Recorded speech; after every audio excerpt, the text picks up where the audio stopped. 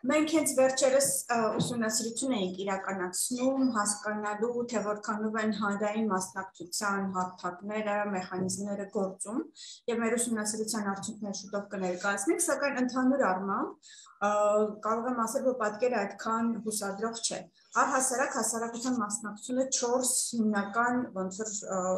մակարդակ ունի, հա, առաջինը դա տեղեկատվության մատչելիությունն է, ընդ որում եւ հարցումների հիման վրա եւ պրոակտիվ մատչելիության ապահովումն է։ Հաջորդը խորհրդակցությունները, քննարկումները, այդպես հարցումները քաղաքացիների շրջանում, որի հիման վրա պետք է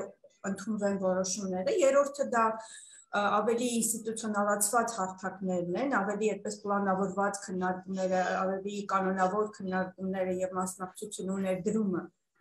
քաղաքացիների մասնագետների եւ չորրորդը դա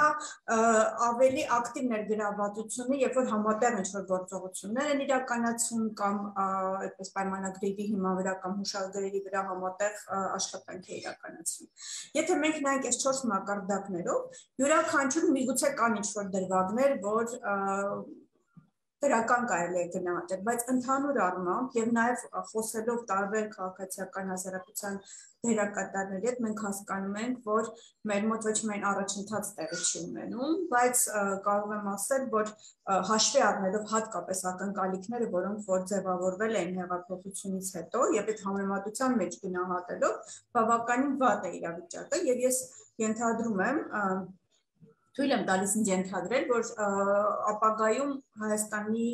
վերաբերյալ ժողովրդավարական ցուցանիշներ, ժողովրդավարության գնահատման ցուցանիշները որոշակի հետընթաց ենթադրաբար պետք է արձանագրեն։ Դա կարող է հենց առաջին տարում չլինի, որովհետև ժամանակ է որպես կանոն խլում այդ ուսումնասիրությունները, ամփոփումները եւ պատկերը ավելի հասկանալի է դառնում 2-2-3 տարի հետո թերևս, բայց այն որ արձանագրվում է այդ հետընթացը, վկայում են եւ դուք էլ ձեր խոսքում ասացիք եւ մեր գործընկերներ տարբեր հասարակական կազմակերպություններ, լրագրողները բոլորը արցանագրում են այդ հետընթացը։ Եվ եթե մենք նաև դիտարկենք, որ հաշվետվողականությունը դա եւ մասնակցությունը դրանք ըստ էության լավ կառավարման բաղադրիչներ են, այսինքն դրանք մի քանի բաղադրիչներն են, մյուսները այդ թափանցիկություն եւս ընդհանրապես ներառական կառավարումը, կոնսենսուսային կառավարում, արդյունավետություն եւ այլն, ընդհանուր առմամբ այդ լավ կառավարման բաղադրիչների առումով առհասարակ առանձնապես առաջընթաց չկա։ Ես չեմ ուզում ասել, որ ամբողջությամբ է վատ, որովհետեւ առանձին դրվագային process-ներ գնում են, բայց երբ որ մենք փորձում ենք այդ ընդհանրապես ամբողջականության մեջ գնահատել եւ այդ բաղադրիչներով գնահատել, հա, թե որքանով են մեր մոտ ավելի հաշվետու, ավելի պատասխանատու, ավելի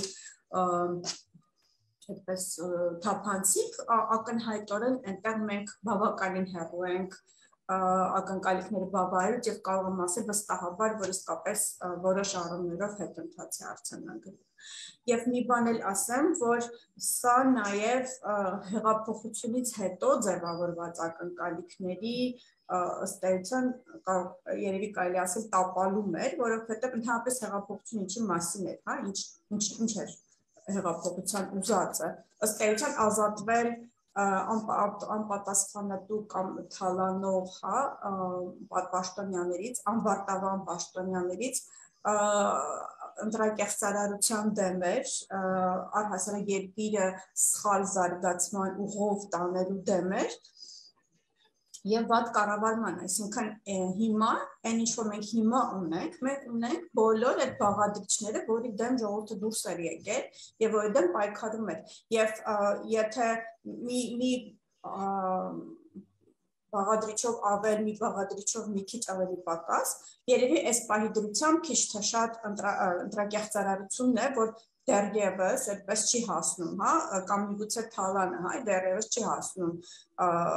ասենք, նախկինի մակարդակի, ես հուսով եմ, որ երբեք չի հասնի, բայց ամեն դեպքում մի քանի բաղադրիչներով, նույն անվարտավան պաշտոնյաների բաղադրիչներ, իսկ կարող եմ ասել, մենք հասել ենք արդեն նախկինի մակարդակին եւ այդ առումով բավականին լուրջ է իրավիճակը։